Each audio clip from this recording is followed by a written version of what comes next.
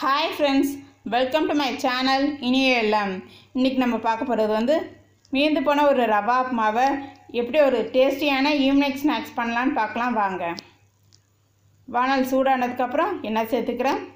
எண்ணெய் சூடானதுக்கப்புறம் தட்டி போட்ட இஞ்சி பூண்டை பச்சை வாசனை போகிற வரைக்கும் நல்லா வதக்கிக்கிறேன். இப்போ நான் ஒரு உருளைக்கிழங்கை நல்லா வேக வச்சு மசிச்சு வச்சுருக்கேன். அதை நான் இப்போ நான் சேர்த்துக்கிறேன்.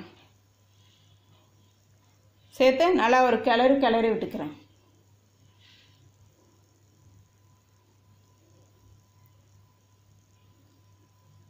இப்போ ரவா உப்புமா சேர்த்துக்கிறேன். ரவா உப்பு நான் காலையில் செஞ்சதுனால நல்லா சூடு வர வரைக்கும் நல்லா ஒரு கிளறி கிளறி விட்டுக்கிறேன். இந்த உப்புமாலே பச்சை மிளகாய் காரம் இருக்கும்.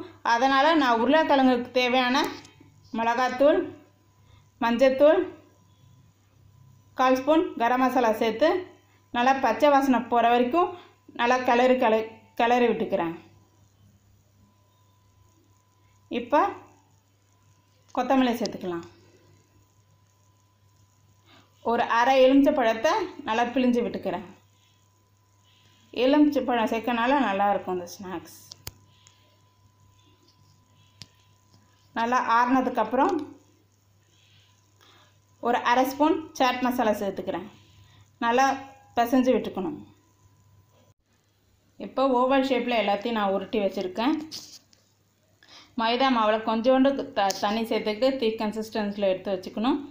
அதை இதில் போட்டு நல்லா டிப் பண்ணி எடுத்துக்கணும். அதே மாதிரி ரஸ்க்கை தான் நான் இது மாதிரி பொடி பண்ணி வச்சுருக்கேன். அதையும் நல்லா கோட் பண்ணி எடுத்துக்கிறேன். நம்ம ஸ்பூன்லேயே பண்ணால் கையில் பிசு பிசுன்னு ஒட்டாமல் இருக்கும். ஈஸியாக பண்ணி முடிக்கலாம்.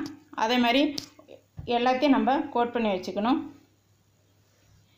ஒரு சில நேரத்தில் நிறையா உப்புமா மீந்து போயிடும். அதை சில சில பேருக்கு திரும்பியும் சாப்பிட்றதுக்கு பிடிக்காது. இதே மாதிரி செஞ்சு ஸ்நாக்ஸ் மாதிரி செஞ்சு சாப்பிட்டா ரொம்ப நல்லாயிருக்கும் எல்லாத்தையும் இதே மாதிரி ப்ரெட் க்ரம்ஸில் நல்லா கோட் பண்ணி எடுத்துக்கிறேன்.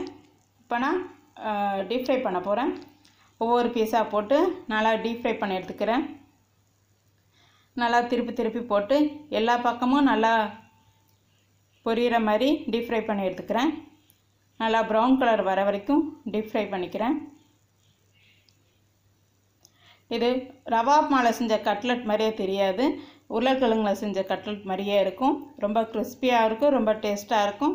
உங்கள் வீட்டில் இதை மாதிரி லெஃப்ட் ஓவர் உப்புமா இருந்தால் இதே மாதிரி செஞ்சு பாருங்கள் ரொம்ப நல்லாயிருக்கும் வீட்டில் நீங்கள் ட்ரை பண்ணி பாருங்கள். இந்த வீடியோ உங்களுக்கு பிடிச்சிருந்துச்சின்னா லைக் பண்ணுங்கள் ஷேர் பண்ணுங்கள் சப்ஸ்கிரைப் பண்ணுங்கள். தேங்க்ஸ் ஃபார் வாட்சிங்